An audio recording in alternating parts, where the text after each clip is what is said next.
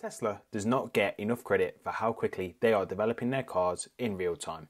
Not only upscaling the vehicle's range by over 30% in less than three years, but also how damn cost effective they are. For example, Tesla has increased the maximum range of the brand new Tesla Model 3 rear wheel drive by around 31% from three years ago. And How did you do that? Yet it's cheaper by around £500 and that works out to be $607 just here in the UK. However, taking into account inflation from three years ago, it's actually £8,315 cheaper, and that works out to around $10,130. So, over 30% more vehicle range, and the newly refreshed Tesla Model 3 has been upgraded on a premium up basis. Therefore, Tesla has scaled up interior quality from sound isolation improvements to improved ride quality as it aims to be more premium than ever before. Tesla has claimed to have changed around 50% of the parts from the legacy Model 3 for this new Tesla Model 3. Now, I currently own a Tesla Model 3 refresh back from 2020 Q4. This original refresh received a hell of a lot of upgrades from deleted chrome trims to the introduction of Tesla's unique heat pump system. The importance of today's video is going to highlight the hyperactive evolution of the Tesla Model 3 and how the 2024 Tesla Model 3 stacks up against the refreshed 2021 Tesla Model 3 that was released in Q4 of 2020. And I want to truly visualize just how quickly Tesla is evolving the cars, the sheer scale of evolution, so before I kickstart the video, I'd appreciate if you could just drop the video a cheeky like, subscribe and hit the notification bell as it really just helps me out. Right, time to discuss change on Tesla's scale. Kickstarting the video, every Tesla customer has an obsession with EV range. It is a central metric to evaluate an electric car's worthiness from practicality and generally the greater the range, the more expensive the vehicle is, right? Well, my base Tesla Model 3 rear-wheel drive received a near 10 mile upgrade from 253 miles to 263 miles range as part of the refresh back in 2020.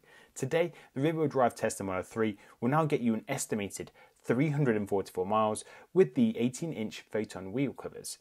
263 miles to 344 miles works out to be around a 31% jump in the max range. That occurred in just shy of a three year window. Oh, wow, that's big. That's, yeah. That is big. Who else is achieving similar jumps in their EV range on this scale in such a small window?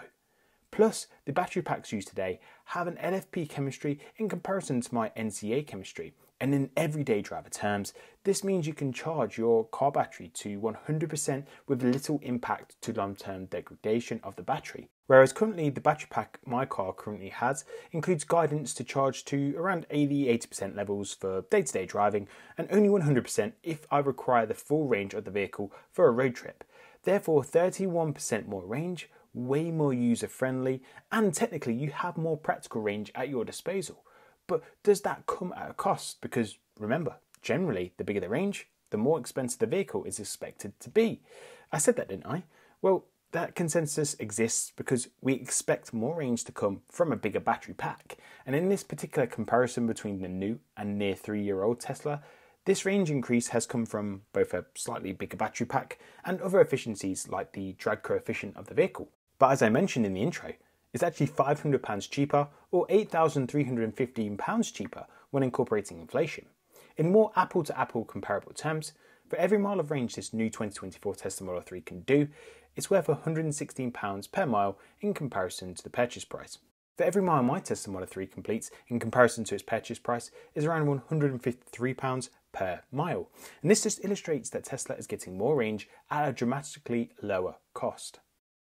Moving on to some of the sensory customer experience. No one likes excessive road and wind noise. Pre 2021, there was a recurring feedback on improving the soundproofing from the road and wind noise. Now, my 2021 refresh Model 3 took its first steps in attempting to reduce external noise to the driver and its occupants by including double pane glass in the front windows for the very first time. The rears were left with original single pane glass for some reason. In all honesty, whilst it probably had a positive impact on isolating external road noise, it wasn't truly groundbreaking in addressing the feedback. As part of the 2024 refreshed Tesla Model 3, Tesla has decided to take more significant action by taking more inclusive action all over the car.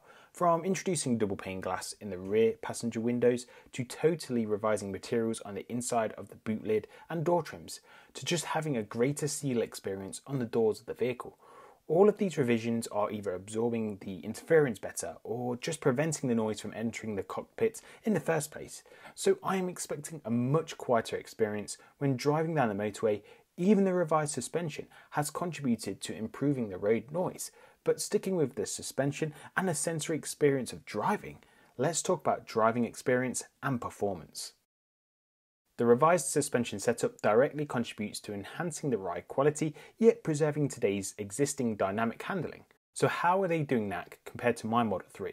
Well, they're utilizing frequency selective damping technology and it operates by adjusting dampening forces according to the frequency of the suspension movement. So, high frequency movements, typically caused by road irregularities, are dampened less and improving ride comfort, while low frequency movements associated with aggressive driving and cornering are dampened more, ensuring optimal handling. Pretty neat, right? Hopefully, I can tell the difference on a UK speed bump. Speed bump in three, two.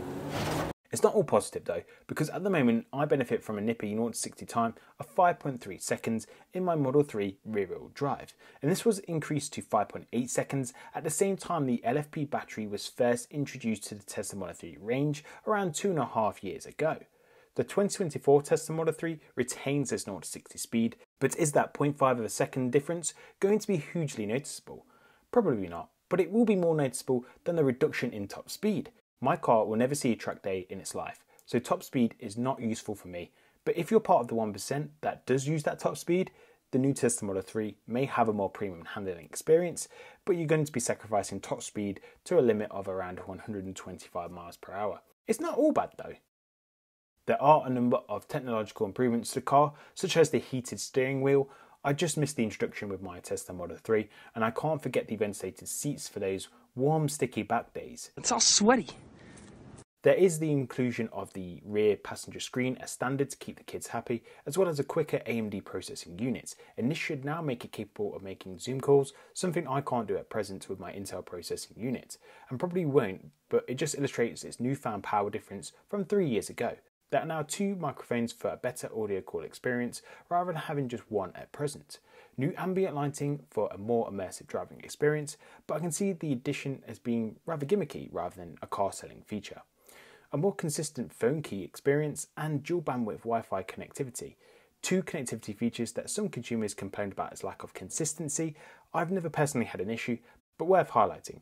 Even the USB C charging ports within the car can charge up to 65 watts, ensuring a MacBook can be charged from within the car. Essentially, these are new features that my old Model 3 from three years ago simply do not have access to. So to conclude, for an inflation adjusted £8,315 or $10,130 cheaper, the 2024 Tesla Model 3 crams in so much more than it did almost three years ago.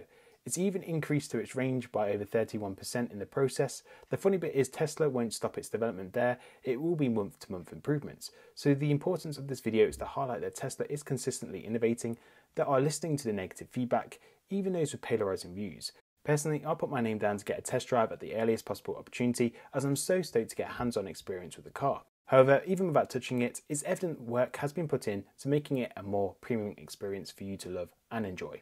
So, do you like these upcoming changes? Did the sheer speed of Tesla's innovation shock you? I personally think it's unrivaled in the automotive space for the speed of innovation.